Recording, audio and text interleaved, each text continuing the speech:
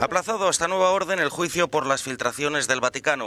Los cinco principales acusados han comparecido este lunes ante la Corte para presentar sus listas de testigos. En una de ellas se encuentra el secretario del Estado Vaticano, Pietro Parolin, que tendrá que declarar, requerido por la defensa de Francesca Chauqui unas relaciones públicas sospechosa de haber filtrado información sensible. Yo no le di ningún papel a nadie, se defendía Shauki. Lo hizo el obispo Balda, es injusto, me están tratando como una bruja y por cierto fue aquí donde se celebraron los primeros juicios contra las brujas. El obispo español Vallejo Balda asegura que actuó coaccionado por Shauki y con sus capacidades psíquicas mermadas, como demostraría un informe psicológico que aún no está en poder de los jueces.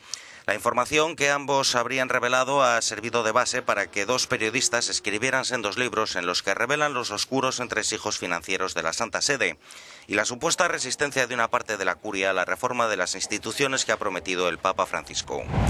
Revelar secretos de Estado se considera un crimen en el Vaticano desde las filtraciones que se conocieron en 2013.